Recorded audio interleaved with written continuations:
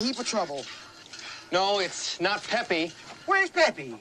I don't know. My name is George God damn it, Caldwell. I knew it. He's gone off Excuse again me. with that no account Manuel. Um, my name is Those George two get together, smoke a little weed, and Um, the next thing you know, they're off buzzing the Excuse me, dear. in the pickup. Excuse me, I should have fired him 30 years ago. Excuse me, do you think I could use your telephone?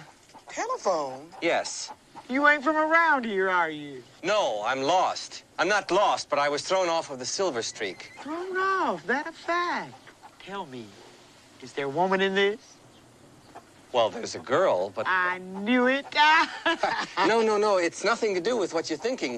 Uh, actually, she's in a great deal of danger. That's why I have to use your telephone so I can call the police and have those people who threw me off the train arrested. well, it sounds like you're in an awful hurry. I am. That's what I'm trying to tell you. That suits me just fine, because I'm running a little bit late myself. Uh-huh. Tell you what, Steve, you George. Hmm? George Caldwell.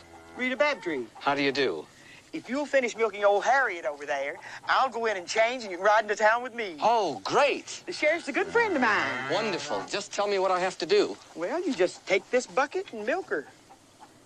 Milk her. I've never milked a cow before. Cut the gas, Steve. You're a grown man. I'm sure you've had some similar experience.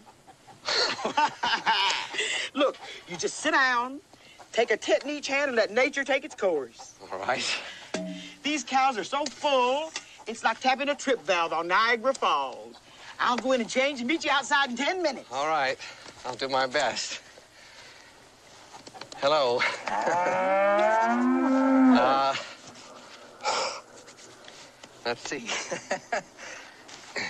Just be nice. Be nice. Wait a minute. Something's wrong. You've got four of them. Oh. Come on, Harriet. Come on, give me a break. Nice fresh milk. Here it comes. Nothing's coming out, though. Here we go. All right. All right now. I know I'm a slow starter, but where's Niagara Falls?